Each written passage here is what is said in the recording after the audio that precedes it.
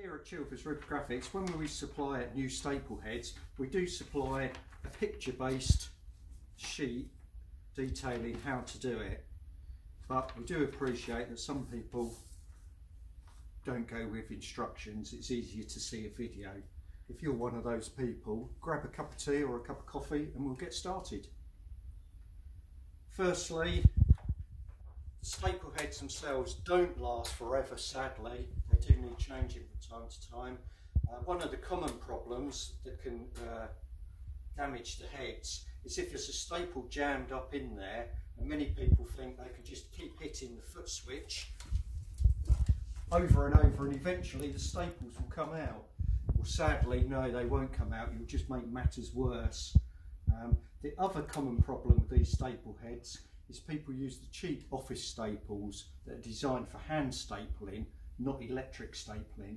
They're very soft metal and they do tend to crumple up inside. That's another cause of um, damaged heads, apart from the wear and tear. Now to actually get the old head out, it's quite easy. Either an 8mm spanner or you should have one of these in your kit when you got it and you should also have one of these little tools. Firstly, to remove the head, all that you have to do is two little 8mm nuts on the back and you only have to undo them maybe one turn each side. You don't have to take them. A common mistake is people think they have to take those two nuts completely out and you don't. You'll see why as soon as I get it out. We just pull it out, roll it over, pull the plunger up just to get it out there. You can see why there's, it's actually a slot in the back so you don't have to take the nuts out completely. Easy to remove. The anvil there. To put a new staple head in, which I have here, have a new staple head. To get it back in, we're going to flip it over the anvil and round. What we're then going to do, this little plunger, I'm not sure if you can see that on the video, we're going to have to hold that plunger up and insert the head like so. So the plunger is on top of the staple head. What we can then do is open the staple drawer,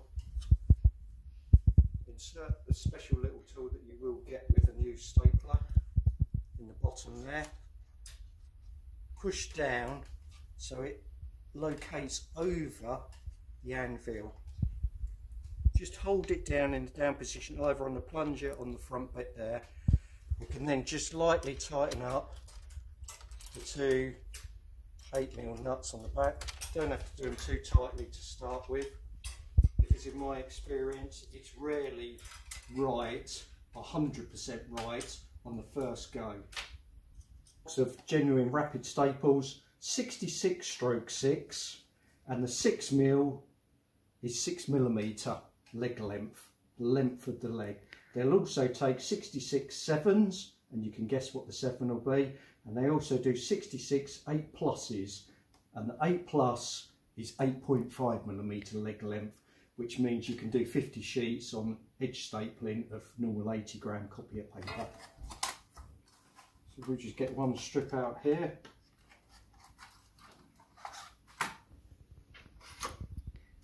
Insert it into the magazine, power on.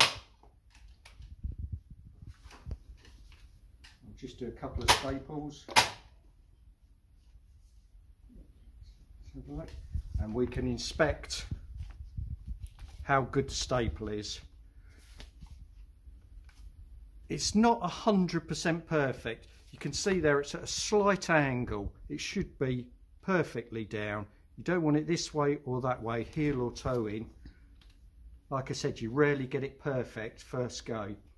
Sometimes you might be a little bit left or right as well, so the fold over will be a little bit bigger than the other one side to the other. In that case, turn the power off And what we'll do, just undo it a little bit.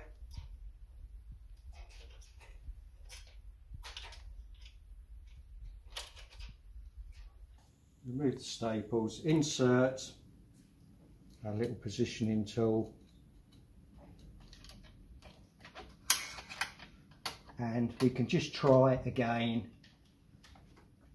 If you can remember which way it's going, heel or toe, we can just pull forward or go back a little bit and lock it up again. If you don't have this tool, you can still do it. That up. If you don't have this little tool, you can visually see the anvil the staple head coming down on the anvil just by a visual check. So you just literally have a look, you're just lining it up nice and even. Again, forwards or back, it might take, might take you two or three goes to get it correct. Let's just have a look and see if we're any better this time. Turn the power on, turn the power on the machine. I'll just do a couple of staples. And we can see it's still it's pushing in this time so we've gone in a little bit too far. Right so third time lucky. About three staples. And yes that you can see that's much better. Nice and even nice and straight going through we're happy with that. Once you're happy with it turn the power off again and just check that you've tightened both sides up. Like so make sure we're nice and tight there. Uh, another little tip if the staples do jam in there quite often we see people get screwdrivers out start getting a screwdriver in there. If I get this spare head trying to prise them open. And it, it doesn't help you just do more damage to the head what happens is once the plunger is jammed in the down position you can't get the drawer open because the staple driver is holding it closed the only way that would be possible, as you can see there's about a finger's gap at the top. You have to push that plunger up to have any chance of getting a drawer open. So a screwdriver, no, no, that won't do it. At the bottom of this video, just click on the arrow facing downwards and we'll put a couple of links on there to make it easier if you want a direct link to the website for ordering a new staple head or if you want a link to the stapler or a link to the staples. We'll put a link to the staples there to make it easy for you. Thank you for watching and give yourself a pat on the back if it works.